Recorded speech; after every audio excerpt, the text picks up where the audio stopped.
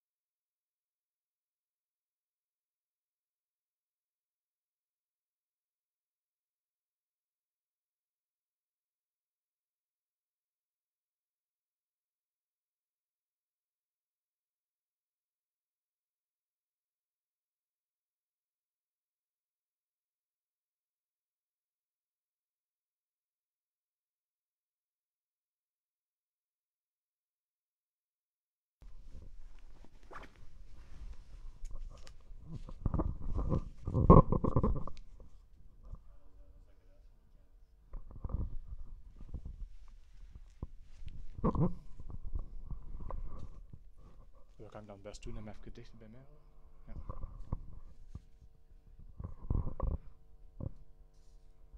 Okay, good evening um, and welcome to the new session of uh, Stadt, which is a, a, session which is organized together uh, between Stadsforum, which is the uh, platform for urban debate in Antwerp, which is uh, uh curated by Endeavour, and the Antwerp Urban Studies Institute, which is the interdisciplinary platform for urban studies at the University of Antwerp.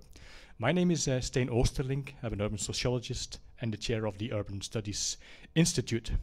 Tonight we will discuss the right to the city.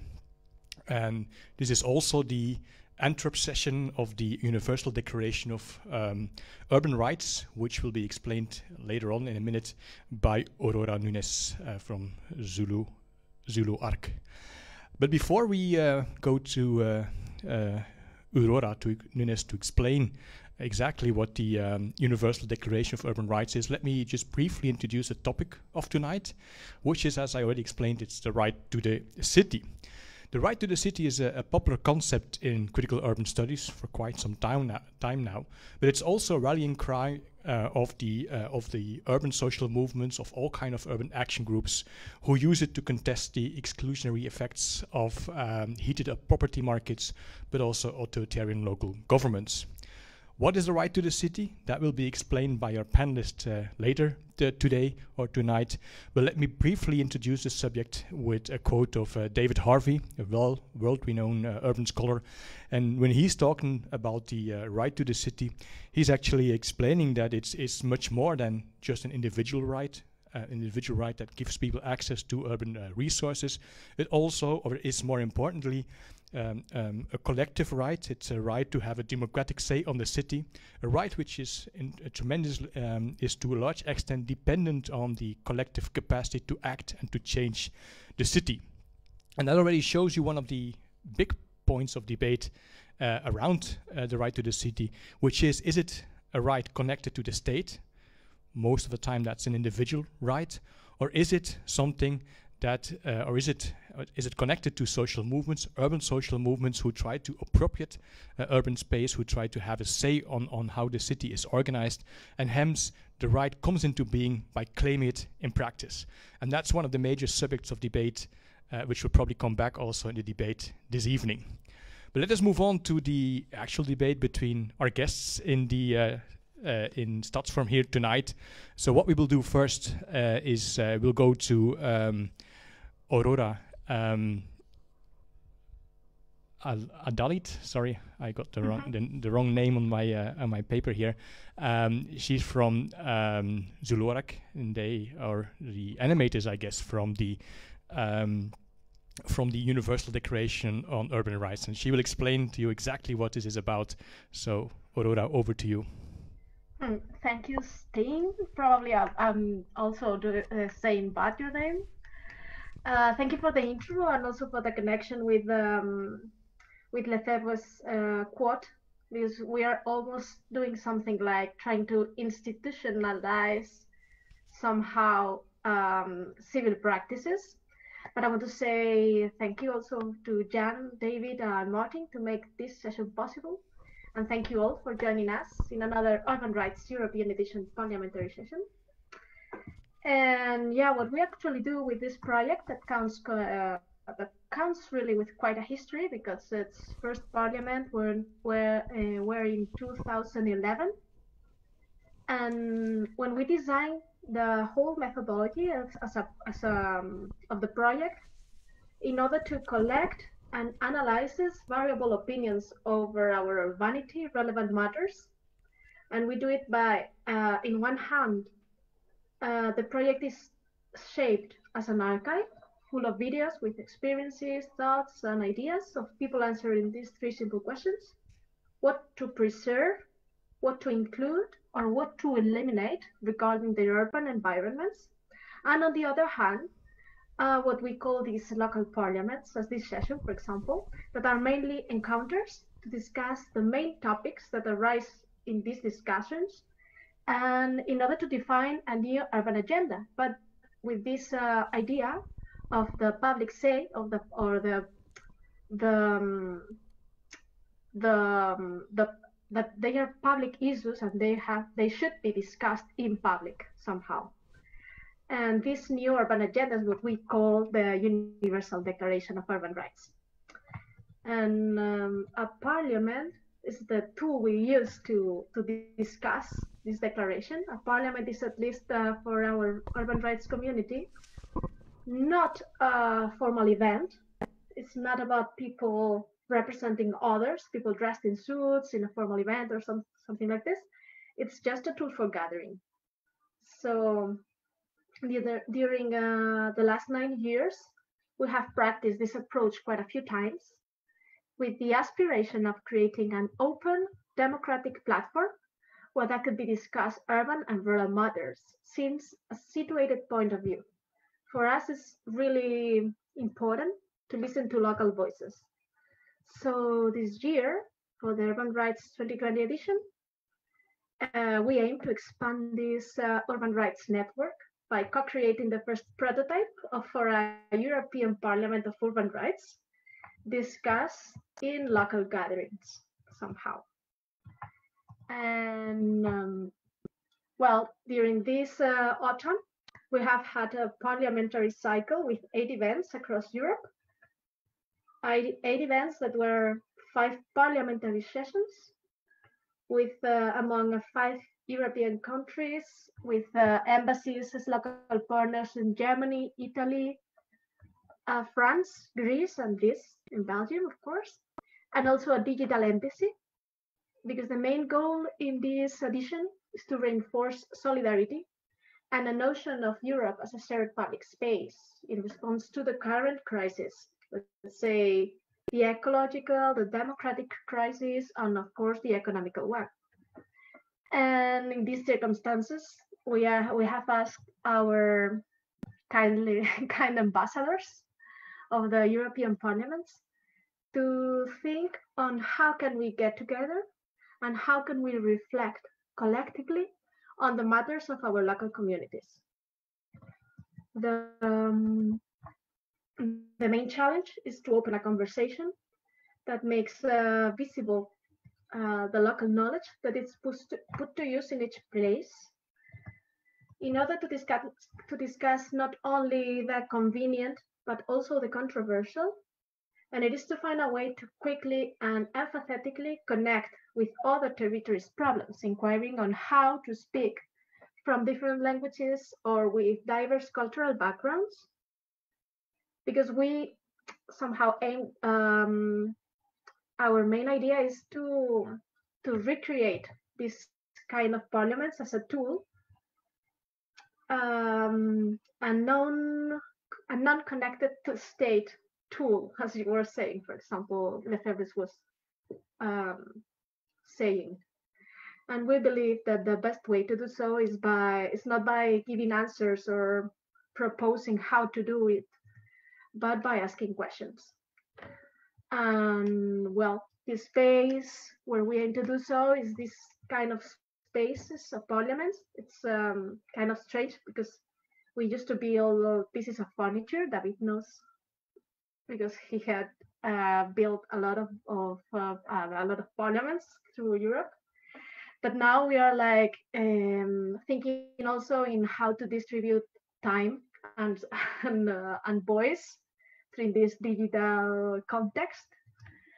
And well, the methodology is open to the interpretation of each of one, uh, each one of our ambassadors. And today, well, we are eager to see the conversation in the Antwerp version of the parliamentary session. And I think that's more or less an introduction. Thanks a lot. Uh, thanks a lot, Aurora, for uh, turning Stadsforum into. Thanks a lot, Aurora, for turning uh, Stadsforum into uh, an, an, urban rights parliament tonight. We'll do our best to measure up to the previous uh, instantiations of the uh, parliamentary mission. So thanks a lot for uh, making very clear what our mission is tonight.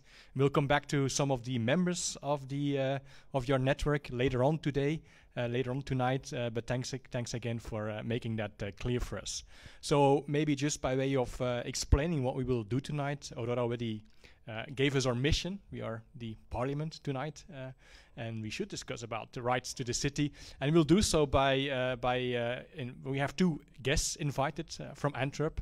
On my right side is Esther van Zimmeren, um, which I will explain, which I will introduce in a minute. And to my left hand is um, um, Steven Gibbons from uh, the NGO Helder Recht and from a number of other organizations. And with these two guests, we will uh, discuss in more detail what the right to the city means, taking in particular an, a legal and uh, a legal perspective. Let's first look to Esther van Zimmeren.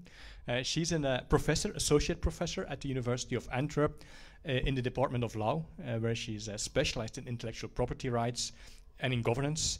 Uh, together with Sigrid Pauwels, uh, she is also the founder and animator of the Metropolitan Legal Lab, which is uh, a kind of lab form. She probably will explain that in, in, in a minute, what exactly that in, entails.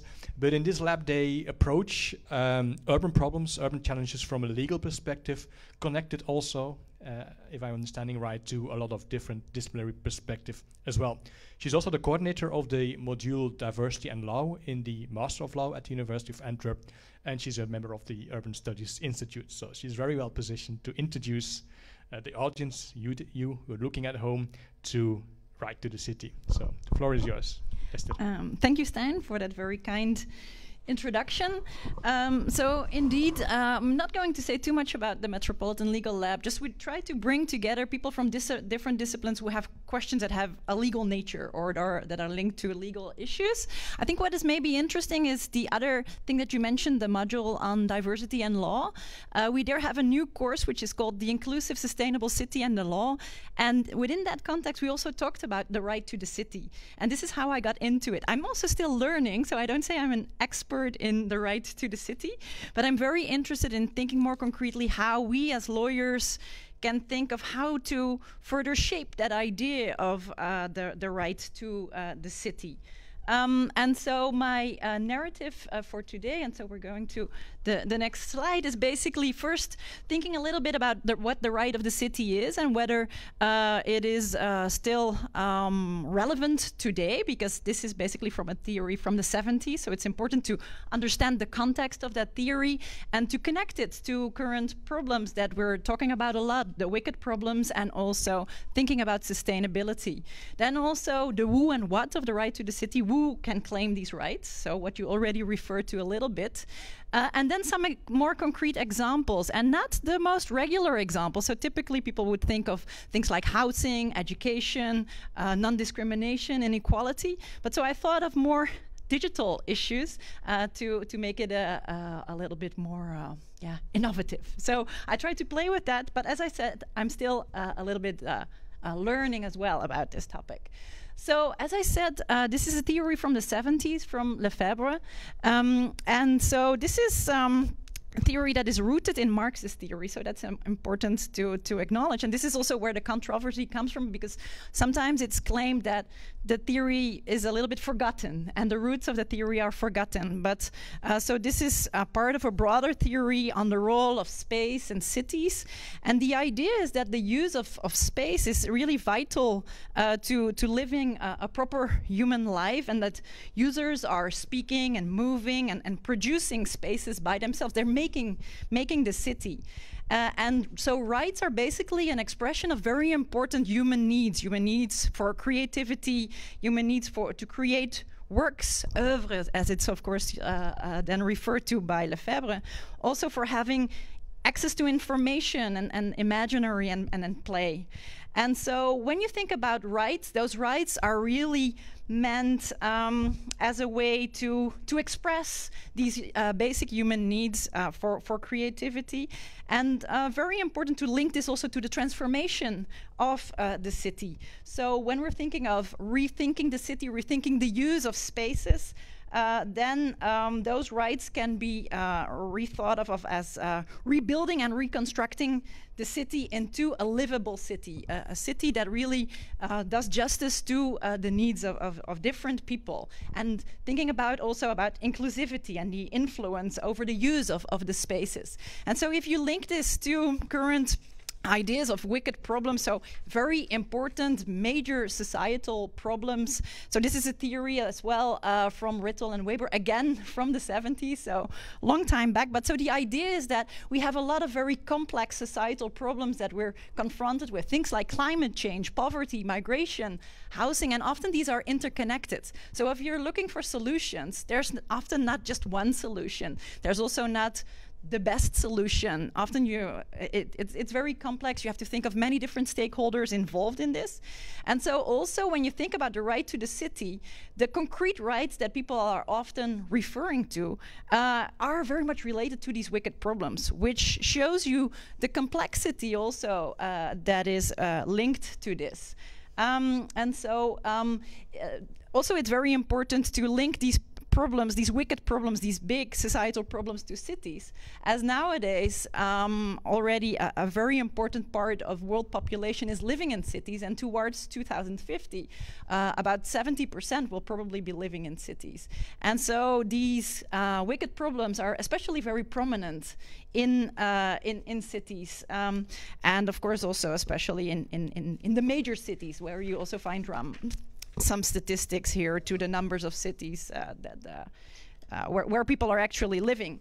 And so apart from linking this to wicked problems, uh, there's also the issue of sustainability and the sustainable development goals, which are very prominent. So what you also see in some of the most important documents that discuss uh, the human rights relevant in the city, so such as, for instance, the European Charter safeguarding human rights in the city, uh, there, uh, there's also often links. Uh, also, if you look at the New Urban Agenda or um, also uh, documents, policy documents building on that, they often bring together the right to the city with these important wicked problems and sustainability questions, and then the different sustainable development uh, goals. So uh, this basically gives you the context uh, for the right of the city and shows you that there's already a lot of other important tools and documents and goals like the sustainable development goals that also the right to the city can be linked to.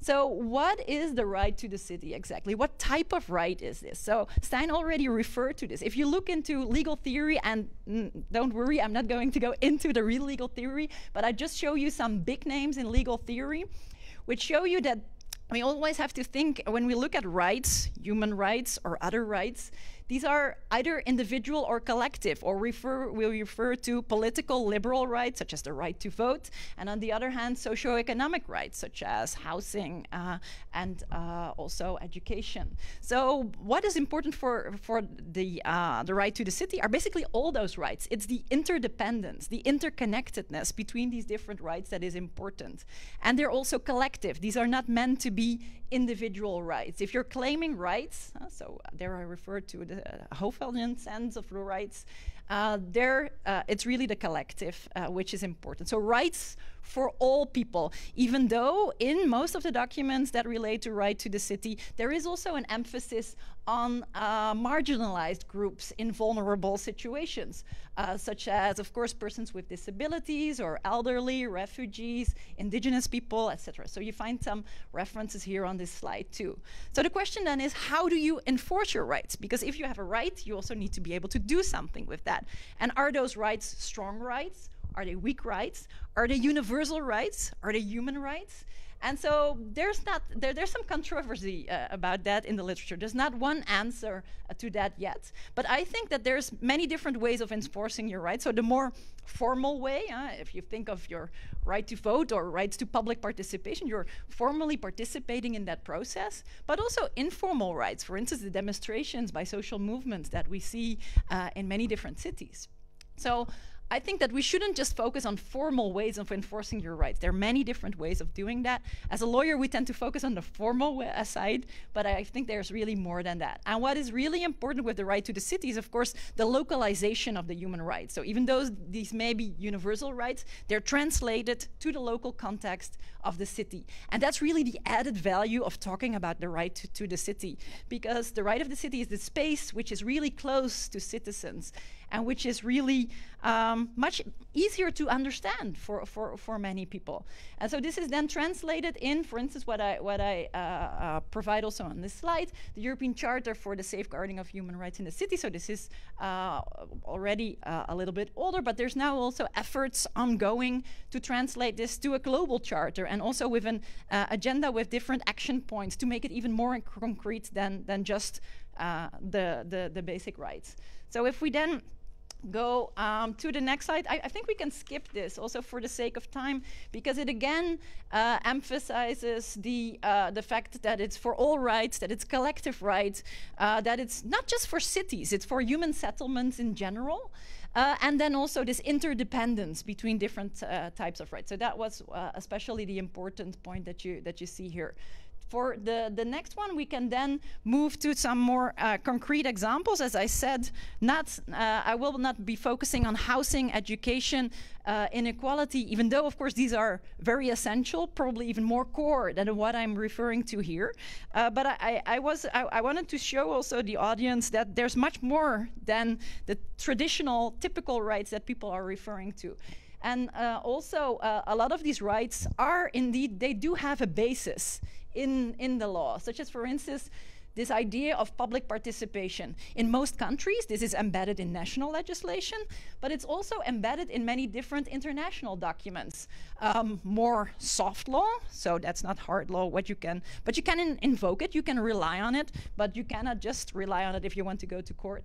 Uh, for instance, if you look at the SDGs, there's also references to public participation, the new urban agenda, but also the Aarhus Convention, which is really a strong convention from the 90s.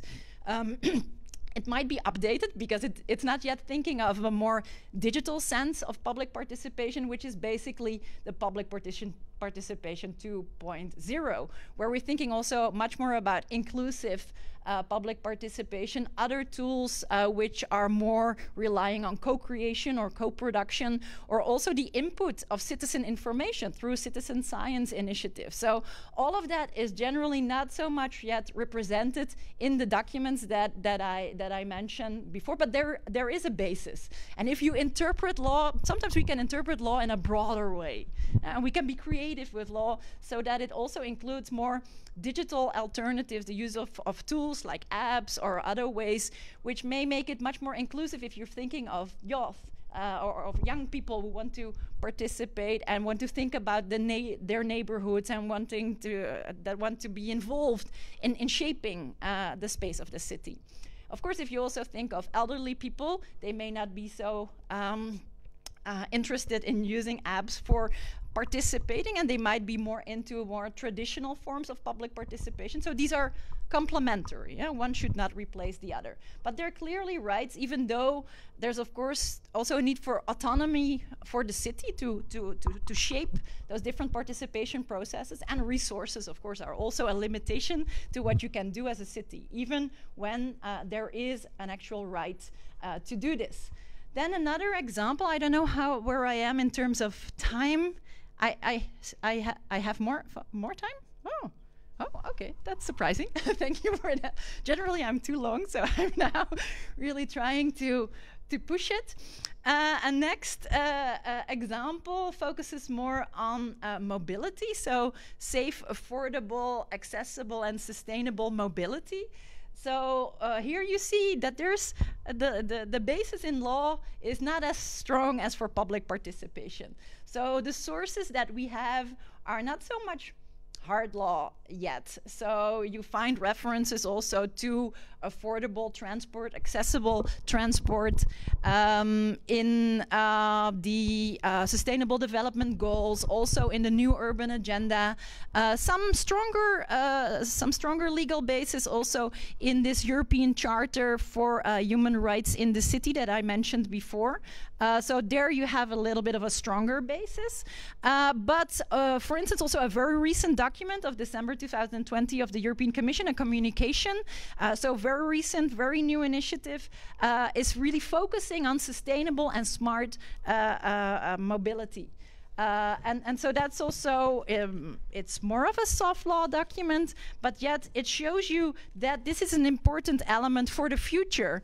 Uh, when you think of um, uh, more pragmatic uh, way of uh, determining what the right to the city really is.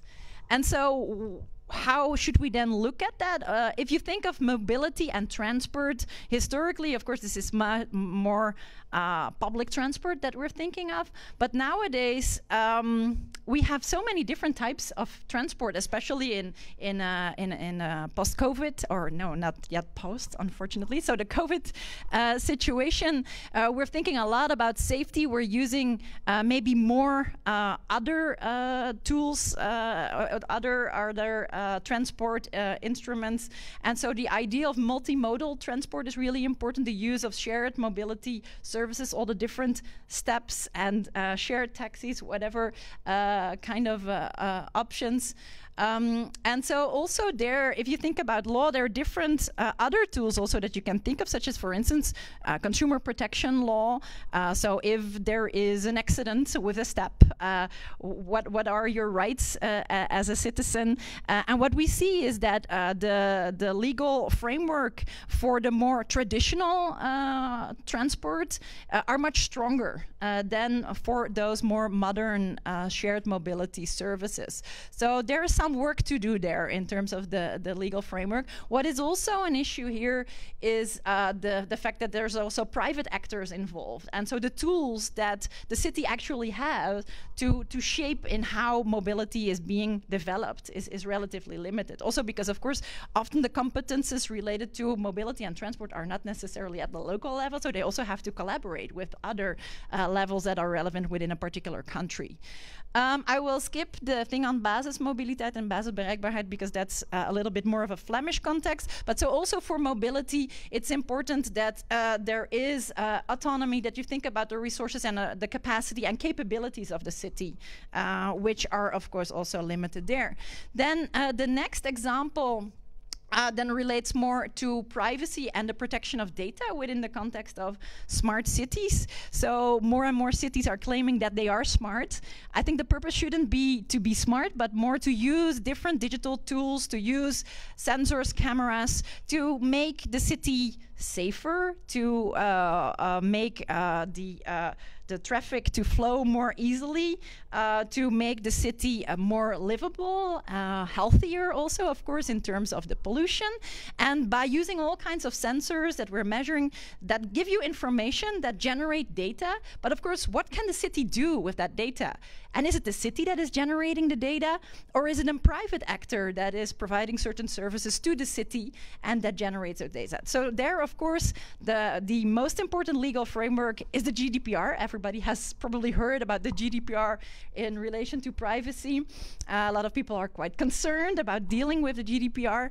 Uh, so this is all also about giving consent to how uh, your personal data are being used. But there is a follow-up to that because also here in Europe, the European Commission is very active, and there is a proposal for a new regulation, the so-called Data Governance Act, which is quite interesting also from a right to the city perspective, um, because it focuses also very much on creating personal data spaces. So I like this idea of space also in a digital sense, and giving control, giving the opportunity for people to influence more what you can do with your data. So it won't be up to the private actors, the intermediaries, the Facebooks and the Googles in the data world uh, to control this, but it's really in the future, if uh, the Commission, the European Commission, get its, get its way, there will be more control for users. And there will be also an element, an, a notion of data altruism. So really a kind of optimal way uh, of, of using data. And in that sense, it's also interesting to start reflecting, but that's still more of an open question about digital citizenship and also urban citizenship, which is also quite a point of controversy for people who know the theory on the right to the city.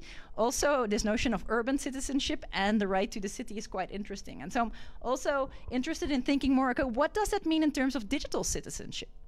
I don't know the answer to that question yet, so I'm already telling you that if you have questions on that. So then, as a as a final note, so this right to the city, um, is it is it a, a kind of new uh, hype where people are reviving this very old notion? It hasn't been away, uh, but it seems to be especially prominent again uh, nowadays. And in my view, it's more than a hype.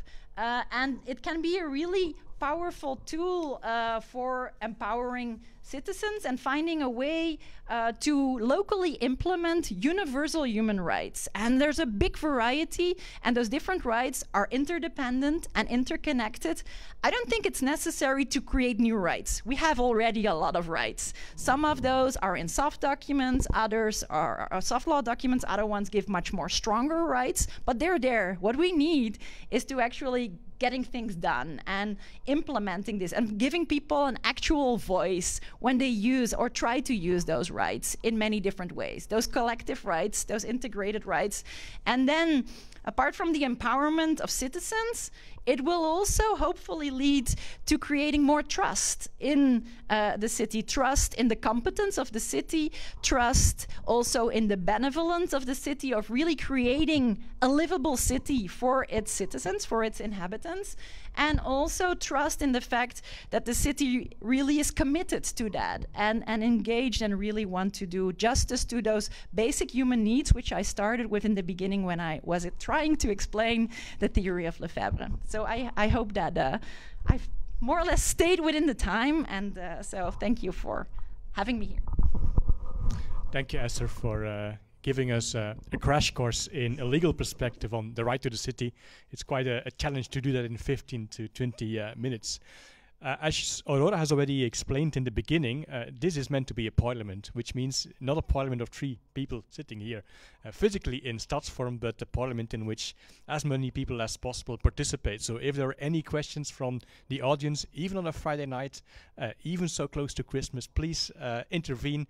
Uh, this is meant to be a parliament, but un um, unless there are uh, any immediate question, let's just uh, maybe just explore a little bit more what you what you were discussing before we move on to to Steven uh, Gibbons for a more uh, practice-based perspective. Um, you were you were quite clear that that uh, as a legal scholar that the right to the city is just more than just a hard law it's more than just the kind of things people think about when they hear about law. So you're kind of pushing the argument. It's more than just uh, the, just the formal law. You also refer to soft law and hard law. You refer to practices as well. I, am wondering if you think about the right to the city. If it's not hard law, where is it? What is it? Where can how can you see it when you when it when it is in front of you? So actually, I, I, think it's a combination of soft and, and hard law. So I refer to many different documents where there's reference to those different rights that then shape the right to the city, this collective right.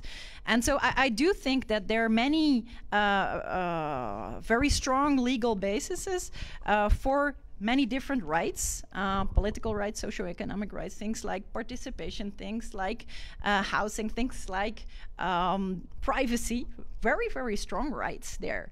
Uh, but just often we see them as disconnected from the right to the city.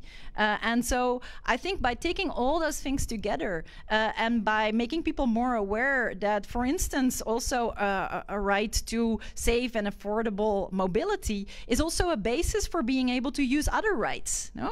If you don't have proper uh, transport, then also you cannot go to maybe to work or uh, to use your right to education. So all those rights are really interrelated, and it's also very important that. Um, it's really that, that we really regard uh, more of our different uh, human rights or universal rights uh, as a way of um, uh, linking them to a more inclusive perspective and a perspective of sustainability. Um, that explains very well how, how these different uh, rights are connected. But I'm wondering, I mean, from a non-legal perspective as a sociologist, I'm wondering, can there be a right without a legal basis? Can people just by protesting in the streets, by, by, by setting up maybe housing cooperatives, uh, by, by, by organizing collective transport, can they claim a right which has no legal basis? Is that possible or is that um, it depends what you want to do. If you want to uh, claim your right uh, before the court against another party, because maybe you're not really capable of, uh, of, of realizing your right, and you have the impression that you have to go to court, then you need a legal basis. But if you have other broader concerns, um, I think uh, by protesting and making yourself heard, uh, showing uh, that you're concerned about that or that you're concerned about what your city looks like or what your neighborhood looks like, that is also part of claim your, claiming your right to the city or using your right to public participation. So I, I think um, you, in, in, there are many legal bases. So I don't think we necessarily need to be worried about the fact whether there's a legal basis or not, but just some bases uh, are much stronger than others, give you much stronger rights uh, or, or weaker rights. No, people do people do have a lot of concerns, but when does a concern, according from your perspective as a legal scholar, when does a concern become a right? What needs to happen before something that people are concerned about really turns into something you would call that's a right, it's a right to the city? Um, yeah, so there, of course, also in law, you have different perspectives. Some people take a more positivist approach and think about law. You know, if it's not law in the books, if it not, if it's not somewhere in a convention, it's not really a very strong right. But of course, we also have certain natural rights, is what some people would say. And so there's what also is a, what there's is a some natural right? well, uh, uh, it's it's more of a universal right, a right that you have by by, by nature because you are a person, because you're a human human being. Uh, but many of those rights are also reflected in human rights documents, in the Universal Declaration of Human Rights, in uh, the European Convention on Human Rights. So there are really a lot of rights that are already reflected in law, um, and so there may be other concerns which you might still be able to realize even without having uh, such a strong legal basis. Okay, very, very interesting. May maybe just before we move on to Steven, one last question. I, I, I noticed that one of the things that you find attractive about the right to the city is that it localizes um, rights, the law. It makes it very concrete because it's close to where people live, where people play, where people work. Um, yet, if you look at the uh, the documents of the hard law or the soft law you refer to, almost all of them are connected to international institutions, United Nations, European Union. Um, is is that not a contradiction that we embed the right to the city, which is meant to be something which localizes law and rights, that they are embedded at an international level? What kind of dynamics is at play there? Um, indeed, yeah. So typically, the view is that human rights are more something that is relevant at an intergovernmental and state level, and the state is responsible then for realizing for and for especially safeguarding those rights. But this is also why I think, especially this uh, this document on the European Charter of the safeguarding of human rights in the city is interesting because there the translation is made to the city level and made much more concrete and really tailored to the needs of a city. So it, it's basically the, the, translation of those more universal and international documents to the local level. And then their cities are uh, signatories to that charter.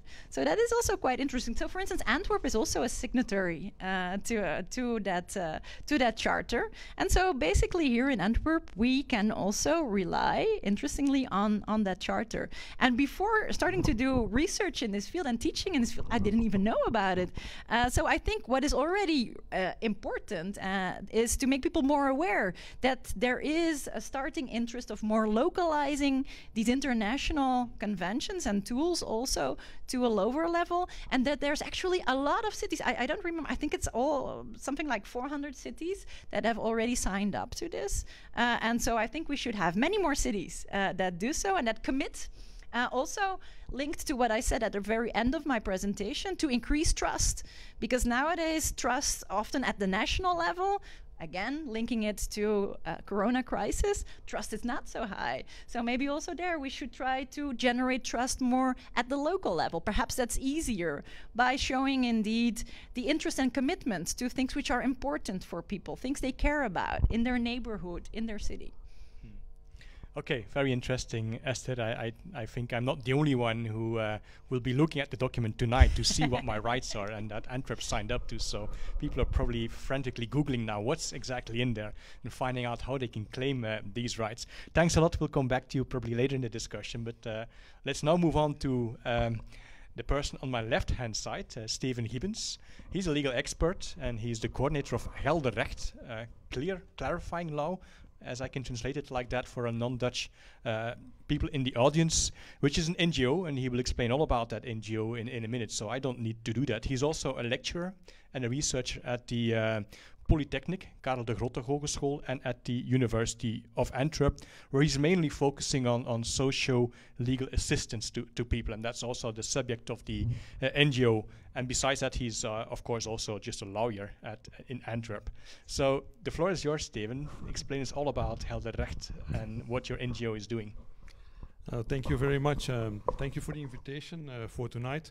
Um, I would like to explain a little bit uh, about our organization, but first I think it's very important to know, and what's already uh, been said, is that people has a lot of legal needs, and what do they have to do to find uh, how to solve their problems, their legal problems, their justiciable problems. And I think very uh, what we are doing is we are trying to make the legal information more uh, accessible, and which means also appropriate legal information. People have lots of legal problems, everyday legal problems, eh? also in the city. Eh? They, they, they, they need uh, have family, they have income, they have they need work, and so on. And often they have problems. And the question is, how can I find real legal information at the right time? And that's one of our issues and our goals uh, of Helderrecht and Droit Quotidien because we are a French speaking and even also a Dutch speaking uh, part uh, in our organizations. Well, um, what we are doing is, well, we have, and I will explain it, and I will explain a little bit our organization. I hope it uh, will make clear what we are doing. Well, we have four branches in our organization, and we all work to uh, clarify the law, to make the law more uh, understandable, usable, so that people can really find their rights. Uh, and we do it, uh, and we use plain language for it. And there are the comprehensive rights of services. We already exist for more than 20 years in Belgium, but in Flanders, uh, it's uh, now for three years we are here, and we have 20 people working uh, on this project uh, in France, in, in the French-speaking part of Belgium, the Flemish-speaking part of Belgium, but also already in France. Uh, so we are expanding.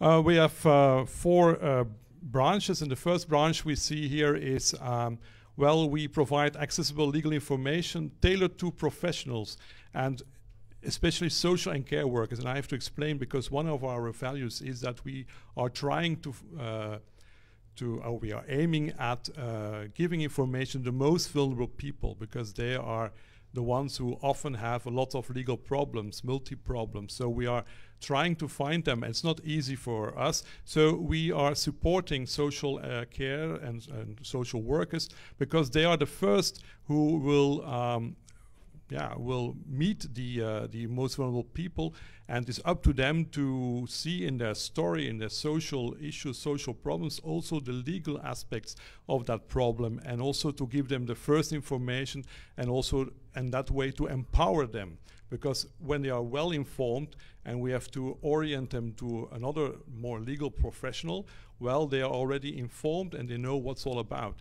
Even so, if you, for example, give some information to people and you talk about law and to rights to them, when they are at the end of the, the session, they maybe know uh, what do they have to do, but when they're on the bus station, they have, have, forgotten the half of it. And when they are at home, for example, they probably uh, think, yeah, it was something about housing and I can be expelled, but yeah, how and what, I don't know exactly. So we are providing also some information, some documents, so they can use it also uh, in their network, but also if they are oriented to other, uh, for especially legal professionals, so they know what are their rights, they know what they have to do. Um, maybe I will explain. We have a website, and that's the first thing we have to HR and JQ, eh, Droit Quotidien, Helderrecht, Legal Info. Well, we have a website, and you will find on the website all the areas, normal areas, uh, legal areas like family, like housing, like work, like uh, social protection, but also for people, uh, foreigners, for example, uh, all the information about their rights, also about procedures before the courts. You can find them all in our website, and I will explain it further. Um, the website is bilingual. We have it in French and in Dutch. And it's a legal database uh, with the most frequently asked legal questions. You can't find all the questions we have, but the most frequently asked questions about what I said about family, money, uh, and so on. We also have a legal help desk. For example, if you don't find information on the site, you can call uh, a help desk and you will find a lawyer who will help you further or looking into the website or even explain you the information, the legal issue of the legal information you need. Uh, we also have uh, some uh, trainings for the people in the social sector about special issues, like, for example, uh, family court, about uh, uh, social benefits and refugees, for example. So we have special also trainings for them.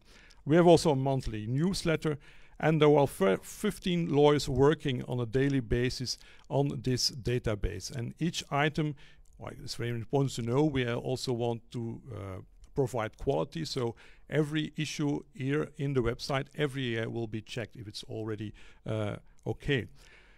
If there are some changes, we immediately try to change also our website. So we are uh, we say accessible legal information at the right time. So it means also it's updated.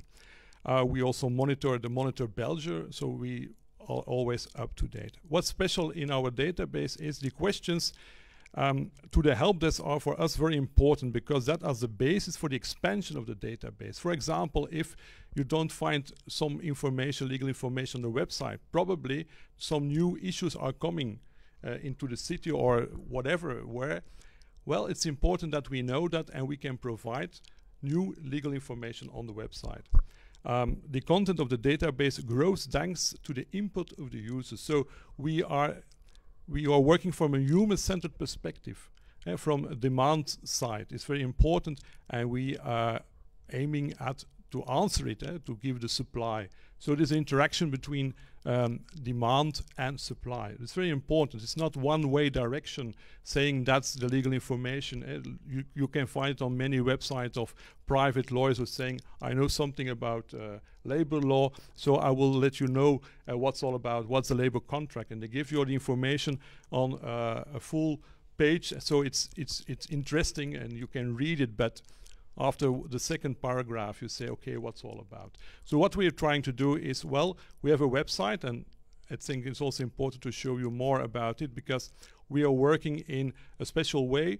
We also um, we pose the question, we, what's the question you have? And that's what you'll find on the website. For example, uh, do I have the right to uh, uh, a housing contract? Yes. Hey. And then will we answer your question on the website. So it's very difficult to see it from here, but there are uh, really uh, a, a, structure, and in the structure is on um, question answer structure. That's very important because we are trying to replace ourselves in the mind of the professional, of the citizen, and what question uh, does uh, does the he or she has, and then we will try to answer it uh, in a plain language. You will also find on the right side, because we're also going uh, with the technology uh, and we're trying to to, to follow, you will find also because there are many questions uh, and it's not easy for someone who is not very um, wor uh, working daily on a daily basis on, uh, on uh, about law. Well, it's important we can see that we have also a chatbot who will signpost you through all these questions to the right answer. So that's also to make it more accessible. Um, for example, you here you'll find some as a question, for example, um, are, are I am entitled to legal aid, for example, then there will be a, the answer and say yes, and certain conditions you are entitled to. You will find the information on one page. You can also click to further, and if you really want to know what's the legal section uh, about this issue, you can also find on the website. And we also provide some um, charts, schemes, uh, brochures, mo models. Maybe you can use it when you have to, to respond, for example, to the Legal Aid Bureau and uh, or to make a request to the Legal Aid Bureau. So you will find the information very smoothly, easily on the website. That's, uh, for example, our chatbot uh, who helps you further. It's called Lexi. Um, and uh, she's very kind to signpost you through the website. Voila. Well, that's the first part, and that's we are working, and that's how we support, uh, especially social and care workers on the daily basis, and also in the help desk. And we see, um, yeah, there will be is a lot of use of our website, and also every day we have several phone calls of people working on the field, and that way we can really uh, feel what's going on on uh, uh, the spot. Also important is uh, what we called uh, legal design. And that's also a human-centered approach to legal, uh, to rights. What we're doing here is we work together with lots of experts, different professionals, different disciplines, uh, like lawyers, graphic designers, uh, language experts, to find the most appropriate way to, uh, or form to clarify the law. Um, you see, for example, here, and that's uh, in, in, it's about Salduz, it's about uh, your rights when you are uh, arrested and you will be interrogated by the police. On the left side, you find the, the sections and what's, uh, what are you, you entitled to. But if you are arrested or even you want to know what all my rights, you don't have the time to read it. And if you are willing to read it, it's not very clear and what we have done is, or what we are doing is that we, on the right side, you can see how we really redesign it uh, in a way that you can really uh, read it and it's more accessible, understandable, and useful at the moment. And then immediately we can, can make your uh, opinion about, okay, what's my right, where I'm entitled to, what can I do now, and so on. So that's very important. And um, legal design is also a way of designing. It's more creat creativity. It's not really, um, how to say, the law within the, the, the, the uh, uh, the law within the books, but it's now living law. It's more the law for living people who can understand it, and that's for us very important. So we visual uh, visual designing of legal diagrams, text you can see. Also designing legal communication uh, within a specific project. For example, now we are working for the Data Protection Authority uh, because it's very complex uh, law. So we are trying to make it more, not to simplify the law, but make it more easy to understand, and that's very important. We doesn't, it doesn't mean that we don't use uh, legal words anymore, but we will define it. For example, you can find on the site, uh, if you say, for example, uh, uh what's a affidavit, for example, well, we not say, uh, we you can click on it and you will find immediately a definition in plain language. So we use the law and we stick to the law, but we try to explain it. We also rewrite legal documents, for example, general conditions uh, for contracts and so on, for companies. So for them it's very important because that's a way to to, to, to, to say to people, trust us, we are transparent, we can really know what eh, we want to have a good relationship. If there's something wrong, here are our general conditions, not in small letters, but really also like in designs and uh, more also um, tailored to uh, special target audience and people. For that's for us very important. And we also give workshops on innovative ways to communicate legally. And then, uh, for example, here you'll find some also legal designs. It's about, I, I, told you someone wants to know what are my rights when I will be expelled of my house because I didn't pay the, the rent uh, regularly. Well, you can find here in one graphic the different stages there are, phases there are in this procedure. And it's very important you, we can, you can print it or you can send it by phone if you have your phone with you. And if you're at home, you can rewrite or uh, re read it be better what, what what was all about and you have some memory uh, documents so documents you can memorize what has been said during consultation and on the right you see when uh, you're a refugee or uh, you're not entitled anymore to stay in the country what are my rights then and so we can uh, give it in one page so it's more clear more understandable and the last thing we do is uh, legal tech. Uh, I've told you uh, or explained to you where we'll combine innovative social and digital so solutions to make law more accessible. Um, we have our chatbot, you know, uh, we are going uh, yeah, we are going to develop it uh, more and more.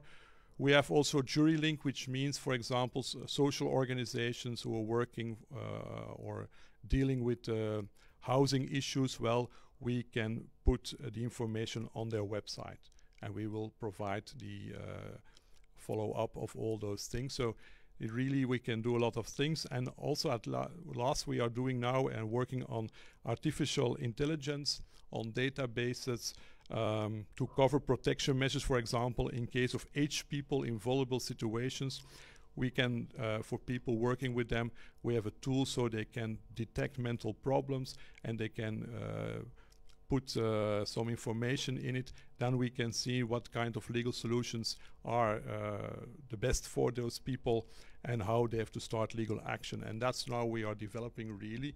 Uh, it's based on databases uh, using uh, uh, natural language processing, deep learning, and so on. And we know, we think that plain language, legal design, and legal tech are very important elements to create or uh, very important elements for uh, artificial intelligence uh, use. So, for example, I will give you some information. recently, we have been contacted by the University of Maastricht about someone who wants our database because we also uh, gather the information of sometimes citizens uh, directly contact uh, us and they asked what some for legal information, but they don't really use the legal uh, words, but they are do it in their own language. But we keep that also this information because for us it's very important because that's the starting point. Then we have our database with the legal questions uh, and the and the answers we, we we give to them. Well, if we can connect it with deep learning, the the language of the people with the links, well, then uh, we can do much more for them, and it becomes really living law. Thanks a lot, uh, Steven Gibbons, for explaining that to us. Um, just before uh, uh, Esther was explaining, trying to explain to us how uh, the right to the city is much broader than just the law, the hard law. And I think uh, has gone has done a very good job in explaining to us how law is a living thing, how you need kind of infrastructure, organizations to explain the law in clear terms to make to make it possible for people to actually turn the law into something that uh, they can claim a right about. So thanks you very much for explaining that to us. Um, again, uh, an another invitation to people that are uh, watching um, to uh, pose their questions. Uh, maybe just uh, um, some question that was at the back of my at, at, at that I was thinking about when I was listening to you, Stephen. Who who are the nice people funding all of this? Are you do you have people just paying commercial prices for what you're doing? Is this pro domo work uh, not being paid for? Is government subsidies? So who's paying for all this nice work? Well, um, well, we have a business model because uh, we are a social organization and and and uh, we are also, which means we. Uh, uh, are uh, are VZW's and I don't know exactly the, the English word. Non-profit, non-profit organization. Eh?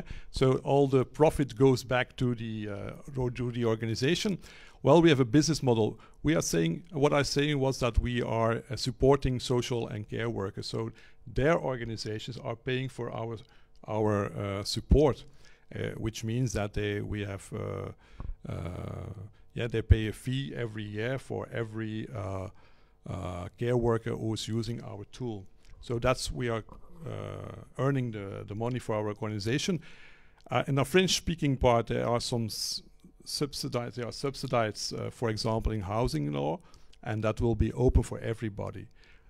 which means, of course, that you can find information on our website to a certain point, and then you will have a banner that says, "Okay, will you have some more information?" Or if you want to use our uh, help desk, then you need uh, to pay for it. So it's uh, our dream is, of course, that it will be open for everybody. That it is that we can really give back the law back to the people and don't have to pay for it and that citizens can also use this database. But yeah we have to cook. Mm. and uh, cook cooking so before we turn to some questions from the audience and before we go to madrid and Hasselt later in the program let me just ask you one final question. Is there an increasing interest from social organizations to this kind of work you're doing? Do they have an increasing interest in this kind of uh, clarifying the law, this legal basis for their work? For Yeah, because there are many questions coming from uh, social and care workers because they are the first uh, one who uh, people talking to. Uh, for example, I have problem in my relationship. What do I have to do? And it's up to them to find the legal aspect. It's not very easy for them because they are afraid sometimes from from the law because that's complicated and uh, I don't know what to do. In that way, we also empower the social care workers because legally. Uh, uh, because they we give them the information, we give them the support, and that's very important because that's the way of helping people. If you talk about rights thinking uh, in the social sector, you can't you can do a lot of uh, uh, from uh, social work, but even at the same time, you need also to bring the legal aspects of the social problems into their into their um, help. So the way they can people to help people. So that's very important over to some questions from the audience. Yes, we have um, a few questions. Um, uh, Aurora and uh, uh, are wondering, uh, we're talking about uh, like, uh, human beings and grown-ups most of the time, but what about these other beings in living in cities, such as maybe non-human ones, such as plants and animals, but on the other hand, um, what about children? how can we empower children? As they are incompetent or not familiar with the right to the city to demand their urban rights in terms of the right to the city.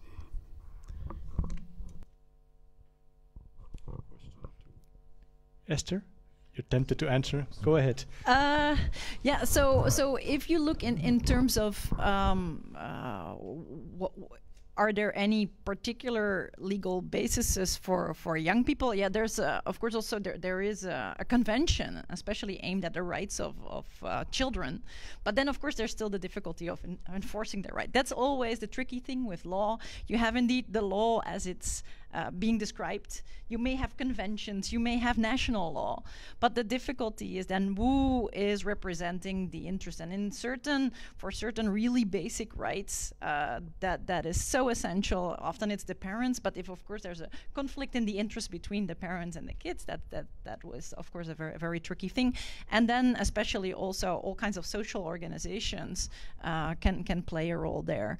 Uh, but you will also see if you would check uh, some of the documents that I referred to earlier, there is increasingly also their attention for the interests of children, for the in interests of young people, and how they can make themselves heard. Especially now, if you look at all the developments in terms of climate change, they are being heard. And they're actually the persons who are very, very concerned about sustainability and the future of our Earth. Uh, and so uh, it's maybe maybe we should even pay more attention to that. Uh, and one thing, maybe also in connection to, to what Steven said, one other difficult thing of the law is that it's changing so quickly. Uh, and so catching up with the law is also a really difficult thing, apart from knowing who has rights. Uh, plants, persons, uh, uh, young people, older people, um, refugees. What is the status of the refugee? Also, there, there's many different distinctions. There's the scope of the law, a very tricky thing when it comes to law. So there's often many questions, and that's why it's so important that you also have support uh, like uh, that Stephen is referring to, because uh, lawyers tend to talk um, and, and use a lot of legal terminology, and making that translation is really essential for many different groups because often those different groups of people have different types of rights, and the strength of the rights may also be different. Other questions from the audience? No? Okay, let's. Um, if there are no more questions from the audience and the parliament is silent, uh, which is a bit normal on a Friday evening, I guess, just before Christmas. Let us move on to uh, two practical examples of people trying to claim uh, in practice their right to the city. And so we're moving to Madrid and to Hasselt. Um, and we're moving to people who are members, I think, of the Universal Declaration of, of, of the right to the city. But let's first move to Louis Galland in Louis Galland in Madrid, who's going to share with us a story of how they try to practice the right to the city. Uh, Louis, the floor is yours. Hello, everyone. Can you hear me? Yes. Okay.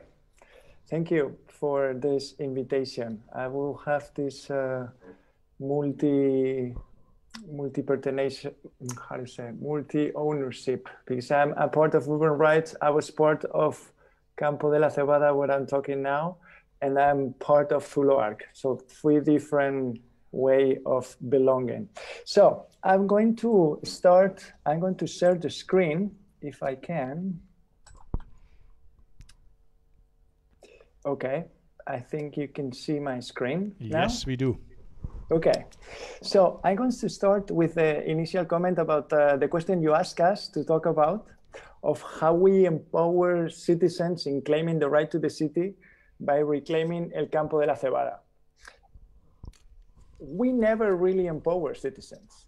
What was done at first, and not uh, by Zuloark, but a very diverse group of architects, activists, and neighbors, especially, was to listen carefully and uh, recognizing that the interest of reclaiming the space for using it was already there and also share the potential of this situation with friends colleagues neighborhoods and make it open since its very beginning so i'm going to talk a bit uh, briefly about uh, some historical events to put you into context of this uh, el campo de la cebada project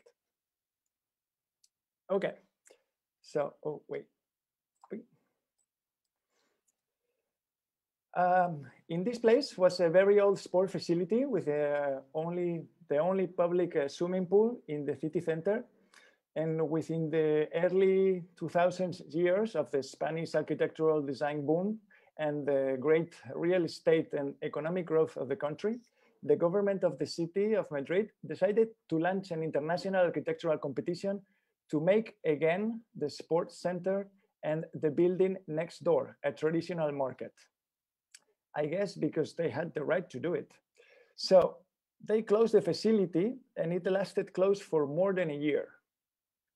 The Madrid Architectural Office won that uh, competition and the ambitious plan was underway on 2007. But the financial crisis of 2008 arrived slowly to Spain but hit hard the construction and the real estate sector. And many great projects like uh, this one, the, the competition that was won, got stopped. And time passed by, and uh, with a grant offered by the central government of Spain for stimulating the economy and the employment on this uh, difficult moment, the government of Madrid decided to demolish the Sport Center in 2009. That's the image you see at the bottom. I guess because they had the right to do it and demolish a perfectly functional facility. Turn down. The mayor of the city surely trusted that uh, an hypothetical big company came with the money to build a big shopping center and manage the sports center, the traditional market, and the car park that was underneath. Some urban permission laws were modified to make this situation more economically attractive, but no one came. Wait. So this big void was there abandoned for some years and the neighborhood associations started to reclaim the famous swimming pool to come back. And in the year 2011, and the magic happened what uh, we have this cultural event called the White Night. I think you have it uh, all over Europe. You might know it. It's a night when all the citizens goes into the street and everything is open so that the, the culture stays in the city till very late and the people can in, go in the city center and enjoy the culture. What a crazy pre-pandemic old times. This cultural event was curated by Basurama, a great collective of friends that has only one statement. The night cost to the city 1 million euros. So we are in a deep crisis and everything created or used that night has to have another use or a longer use. Basurama works with waste and trust, so they use urban waste or leftovers of the city, the urban voids, uh, that they thought they had the right to do it and managed sneakily to get a permission of temporary use given to the cultural department of the city council. So for this occasion, what we see on the image, it's another architectural collective from France, EXYZT, make an urban installation of a tiny swimming pool, very ironically. And uh, Also, they set up a place to gather with cultural programs in the afternoons, concerts, cinemas, basketball court, and so on. And uh, the situation lasted for a month. That was the, the curatorial statement. Nothing lasts for one day. This one lasted for one month. And uh, two days before closing, just at the end of that month, the beer company that uh, financed this event to happen said that they wanted to have a special private evening invitation for their own guest. So everyone involved in the organization said, of course, we agree. So for the first evening of that September month, neighbors that were used to enjoy those activities weren't able to enter the square. So from that controversy, uh, some neighborhoods started to think and talk about it. And uh, somehow they submitted a complaint to the organizers. Everything is very gray here. We don't really know how it gets that complaint to the local government or who were the organizers. It was like a share uh, ownership and shared responsibility of everything. But they managed to, to put this complaint. And Basurama, the uh, members answer back to the complaint saying, we understand your complaint. Why don't we talk about it? Let's have a meeting on the space. And they shared that moment with many other colleagues, neighbors, and friends. And that was how El Campo de Cebada started. In the picture on your right, on the right side, you could see the group of people that started it. And on the left side, what it was left out afterwards.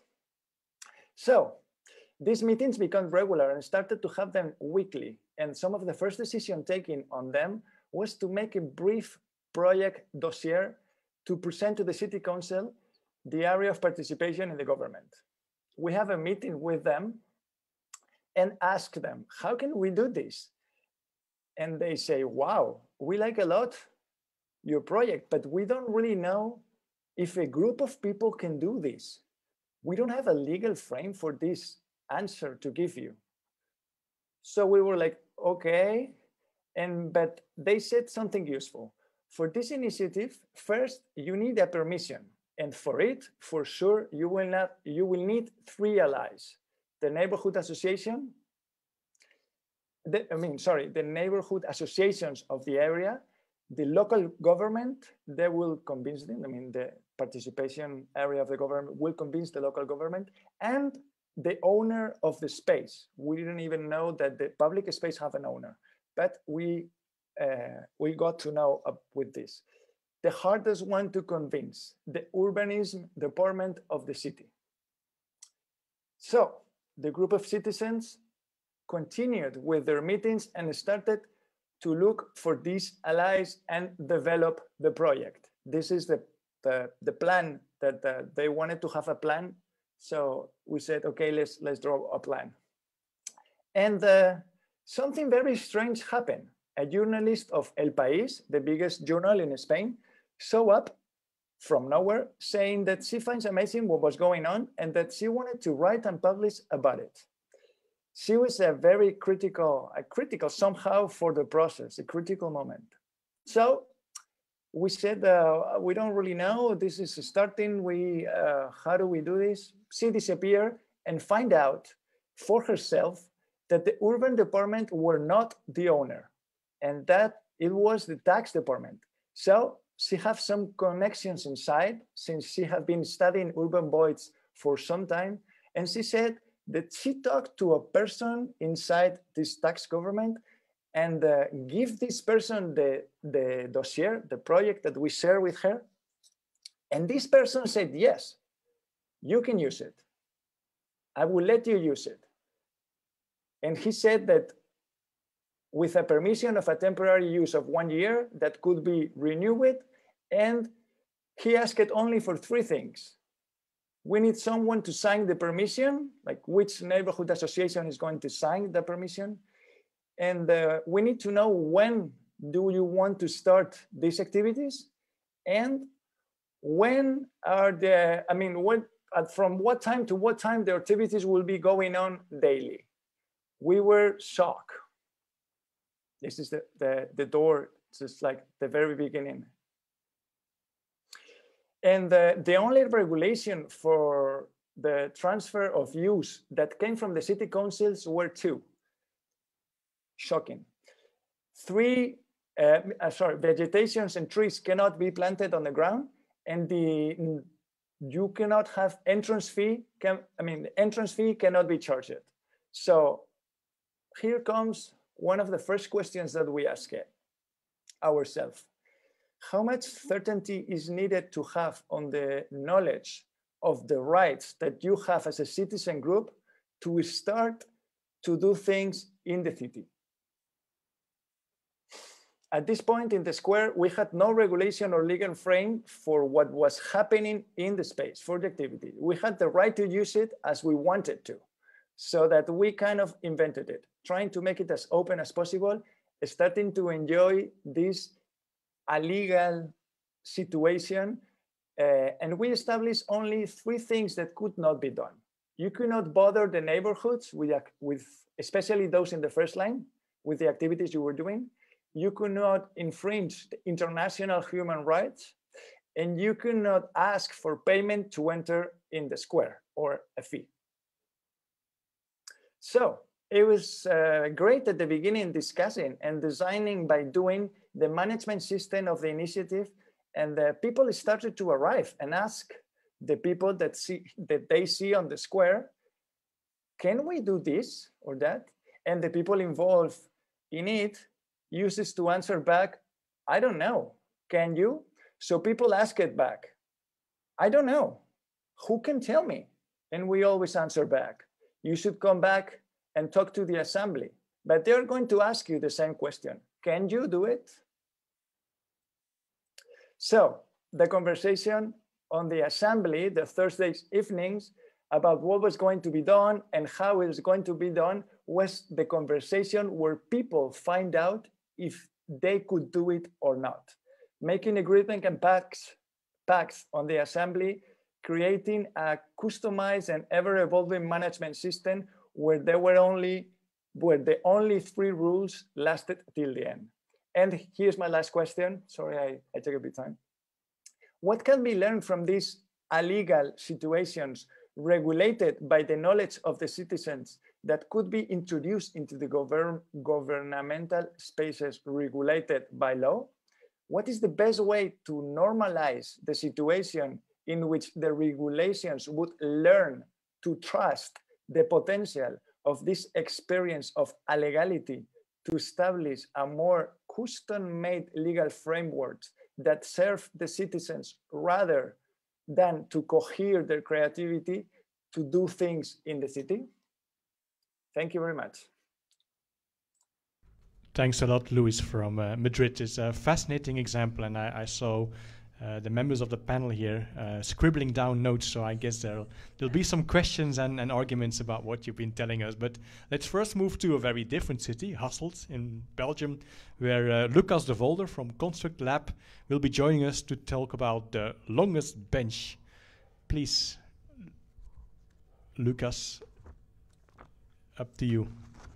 Hello, I believe you can hear me. Yes, uh, we do. Yes. Um, I will shortly uh, tell you um, what Construct Lab is, and then I will go on to the project. Uh, Construct Lab is an international network um, that's trying to break with the traditional relation between designers and builders. In fact, in Belgium, that's quite funny because it's regulated by law that a designer like an architect cannot be a builder. So that's also something that's interesting legally. Um, but for each project, we try to assemble and engage a team of designer builders, social sociologists, graphic designers, curators, teachers, cooks, and so on.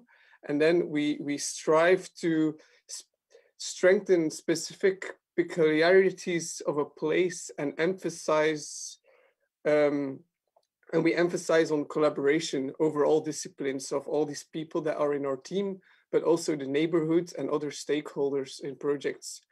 And in those projects, we try to bring in the people and help them to design and build their environment and then rediscover it in this way. Um, and in this project, so now I will share my screen. um, we were asked by uh, Z33 to they have they're like based in the beguinage of um, beguinage of um, Hasselt, and it's a triangular walled garden in the city that holds like a unique oasis, and it's it's one of the only green spaces in the center of the city, and they wanted to share it more with the people from the neighborhood, with the people from Hasselt, because in fact it's like a well-kept secret. And and after the exams, some you some children and and and people would find it, and then they would go drink there. But it's like this secret place, and they wanted to to bring more people there, and they they wanted like by bring they wanted to bring the people there but they want to pull the attention to themselves to the institute of z33 which is um, if i uh, if i say it right it's an institute that uh, for modern um, arts like they have exhibitions and stuff but they wanted to make it a connecting place um, and not they don't wanted it to become a focal point like when we when they asked us to make an installation but they wanted it to act as a reflector and to make this connecting space a space that would bring people there but would also make sure that people went out there and went to other places. And so we we we were trying to understand Hasselt because we were not from Hasselt like what is going on in Hasselt what are the organizations that are there? What are the people that have interest in a place like this? Which people would want to go there? Which people find a need in spaces like this?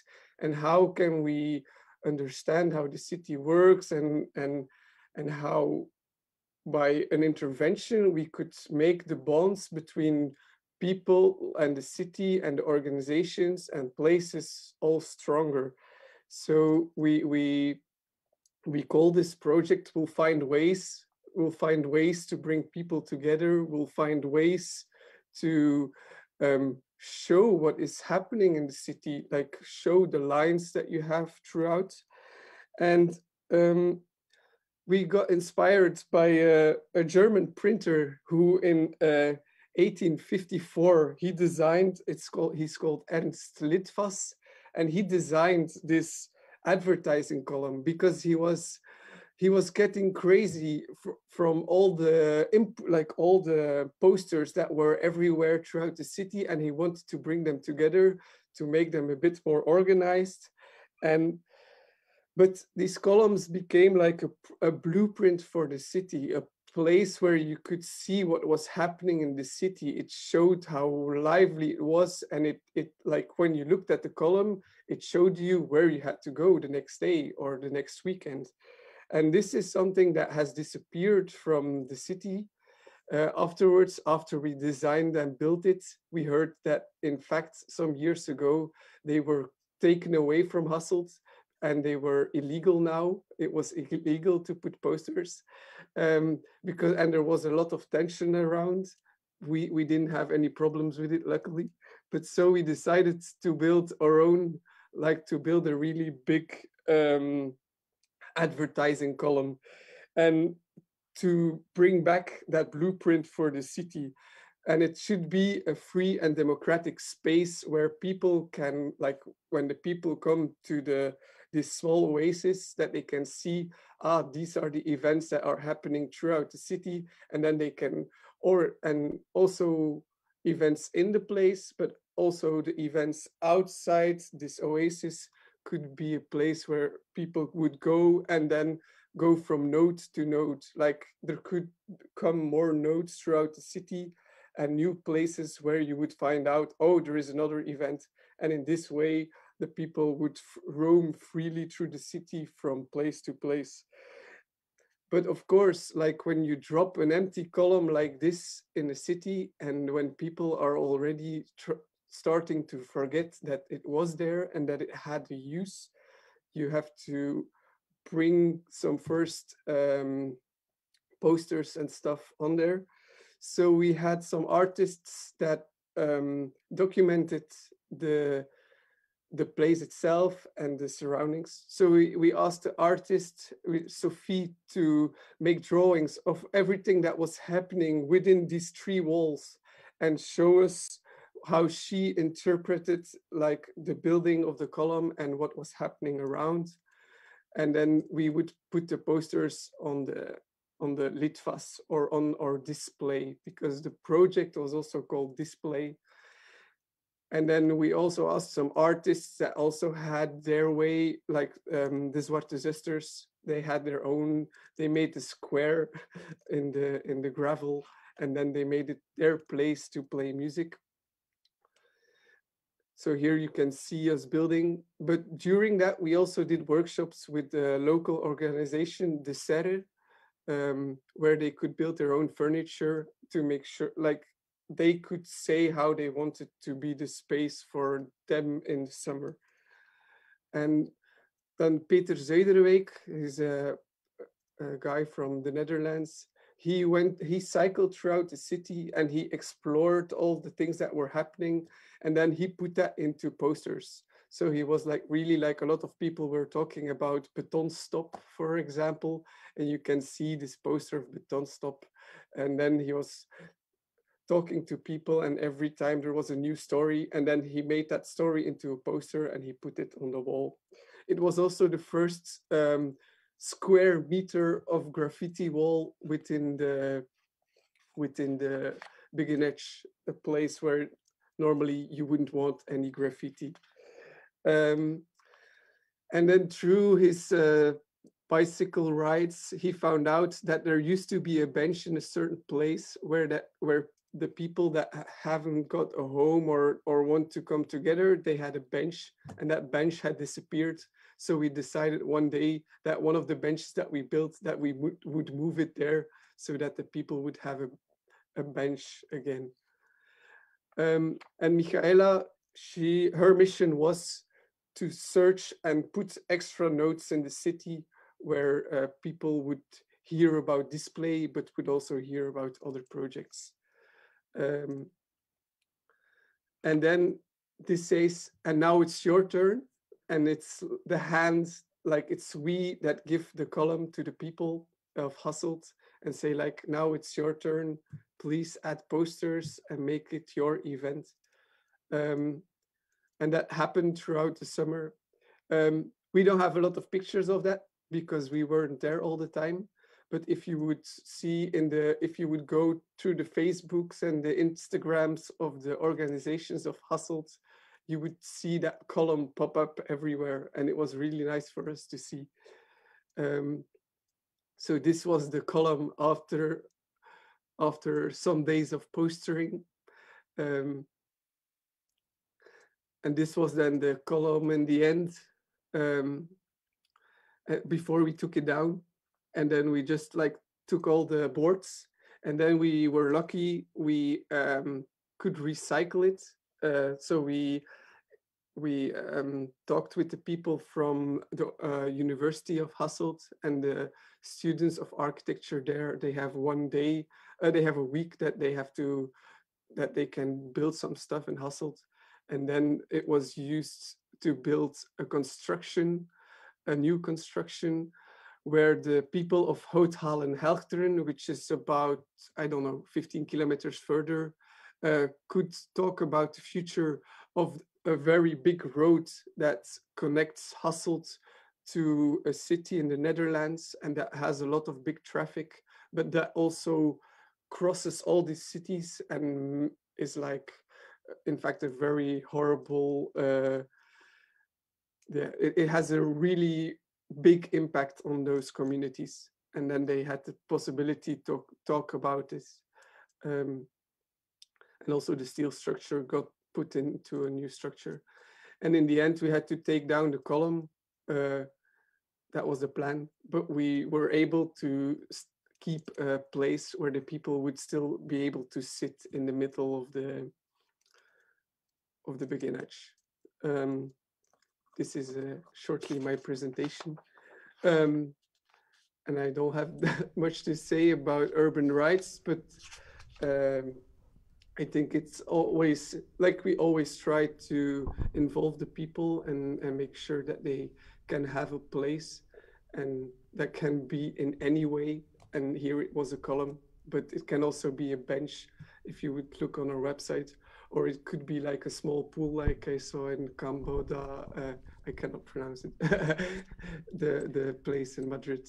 So, uh, okay, thanks a lot, Lucas, uh, for your uh, wonderful example of how in Hasselt people are also claiming place, and it's this is really about the right to the city. I mean, the centrality of public space in, in both the examples in Hasselt and uh, Madrid. Are, that's really public spaces at the heart of the city. So let's use these. I hope you can stay with us uh, for just more, 10 more minutes because uh, let's uh, let's just have some little discussion about all of this. Um, I think the, the tension which I uh, referred to at the beginning between sort of legal version of the right to the city as an institutional right, which is connected to the state, which is connected to hard law, and then the practices that we heard from, from Madrid and from Hasselt, where people actually the right comes into being when you actually practice, when you take up space, when you, you, you occupy your appropriate public space. That tension is really here in the room. So I, I suggest I, I won't ask any more questions, but let's I think Esther and Stephen are probably dying to say something about how they see all of this. So maybe Esther first. What do you think of all of this? Where where is where are you in Uh, these stories? I, th- I think th- this is this is wonderful, uh, and I was listening uh, uh, very closely to both of the presentations, also trying to recognize words. So uh, both of the projects were so much about creativity, playing, doing things, creating things out of you know some kind of basic human need. This is what we really want to do in our city. We want to make it our own, and that was what is hap- what was happening in both uh, cases. So this is also very much a reflection of the theory of Lefebvre, is, and that's why we have that notion of the right to the city. So that I find already really great uh, to see that that really theory changing into into practice. And then what I also really liked about uh, Luis' explanation is that he was saying "Oh, that was probably because they had the right uh, and, and you were questioning whether they had the right to do so questioning so this was not so much the right to the city but questioning what the city could actually do or the rights that the, the government actually has. And sometimes they're also operating in a gray area so these projects were operating in a gray area but maybe also sometimes you could question what what governments local or, or also higher governments are doing what also you hear in both cases is uh, seeking for allies and seeking for to to to discuss and to collaborate.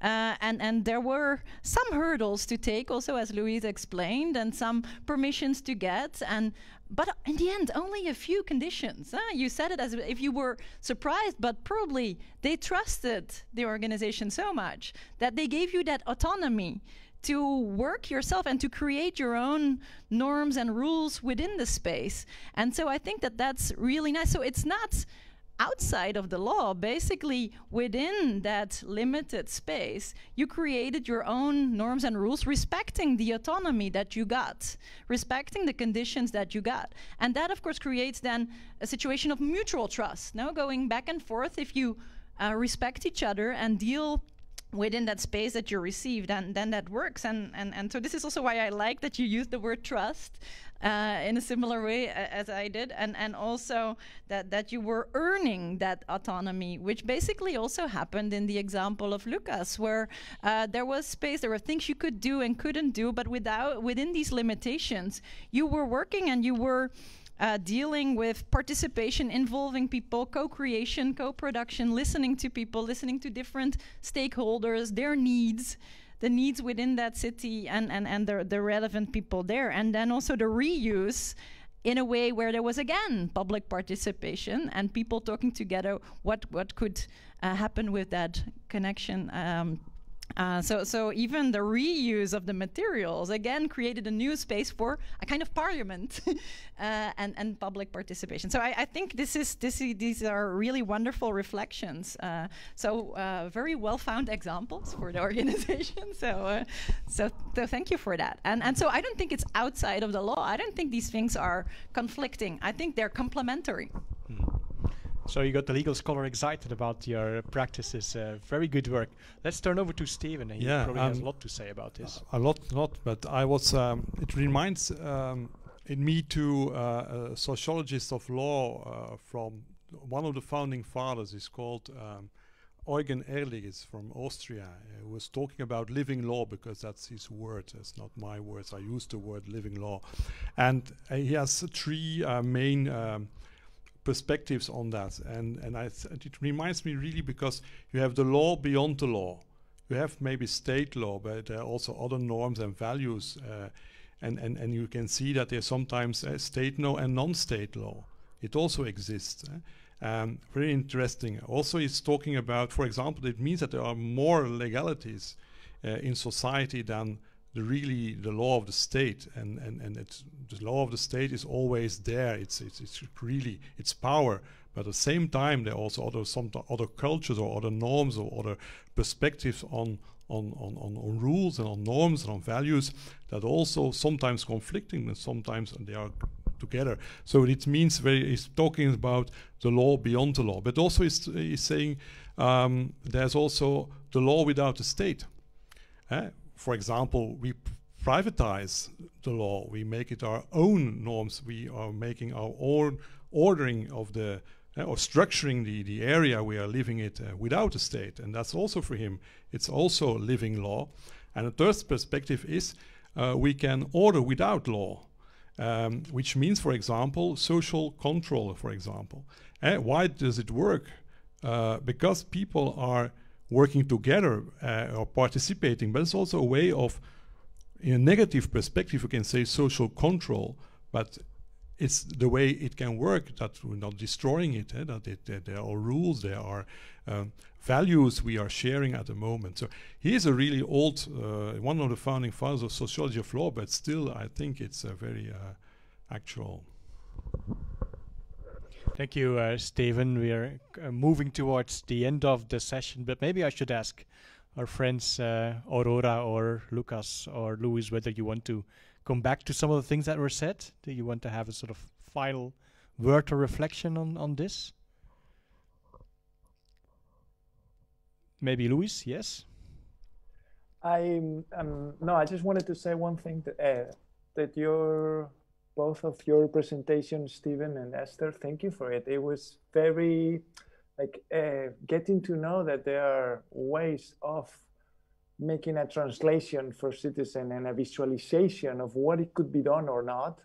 It uh, I don't I think it um, it's very important so that the, the citizens could could trust that they are not going to do something illegal because many times when we do these type of things i think lucas can agree with me. You are working in a, a, very gray area and sometimes there's fear about it like what what could happen? What are the consequences like the legal consequences of what we're doing? Especially sometimes that we're working as architects that you're supposed to know like exactly where are the the limits of of what are you working on.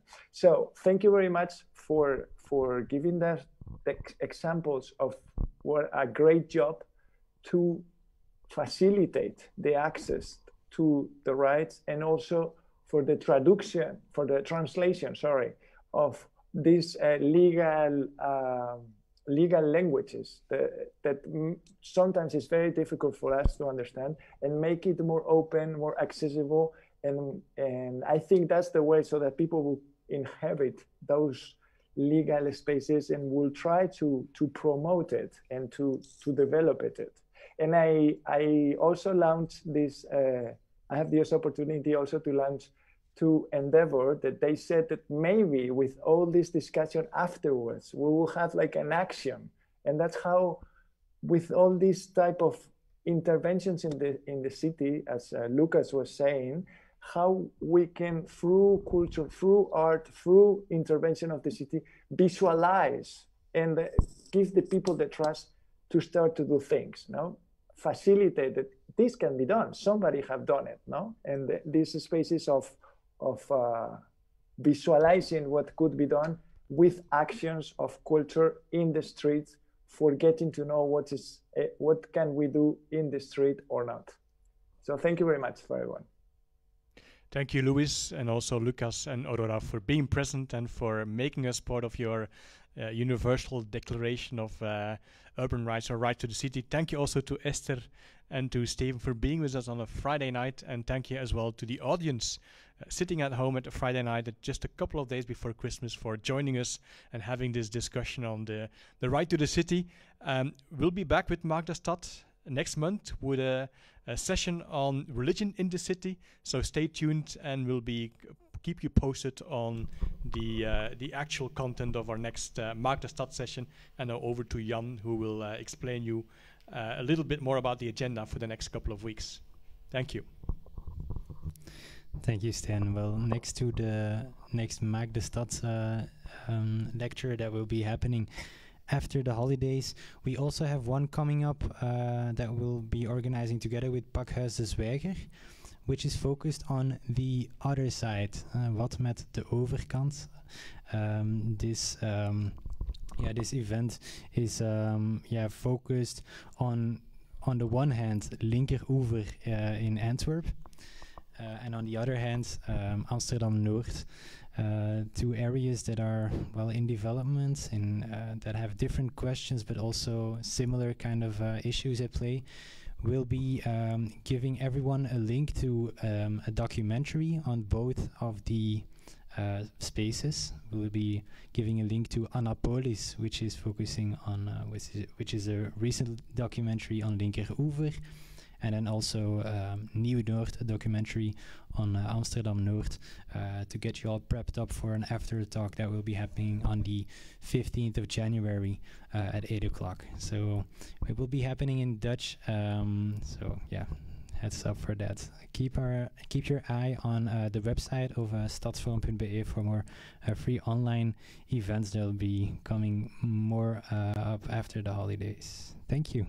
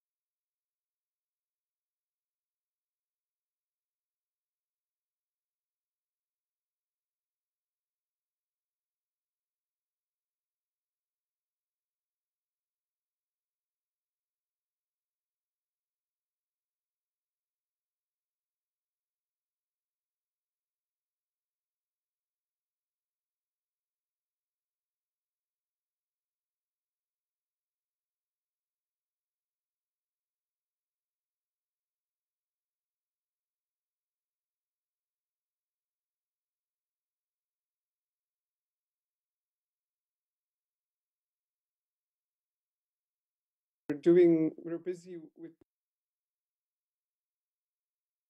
and uh, so